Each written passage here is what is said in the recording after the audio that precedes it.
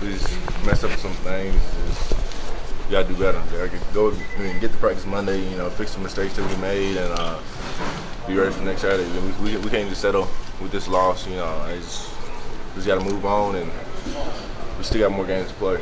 You Eli to play generally as well as you guys did on defense, and but to have two plays where guys are left totally uncovered. How frustrating, Like I said, embarrassing. I, mean, what's the word? I It- guess. It's, it's, it's communication, man. You know, you just get so riled up. You know, you just feel like you got the game in your hand, and then just something just slips up. You know, that that kind of thing is like I said, it's communication. We was all close in. We didn't see the other man move out and stuff like that. Uh, I guess they was breaking the huddle and moving somebody real quick, but we couldn't see it.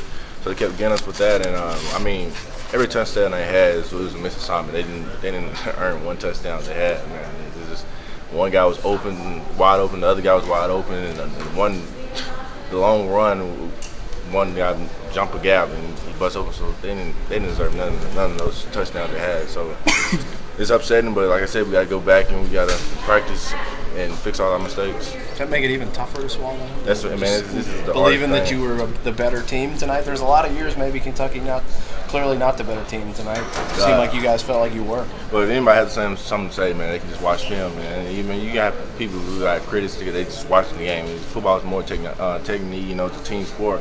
And uh, like I said, man, we should have won that game. And it's, it sucks, but you have to move on. It's time to just move on and play the next game.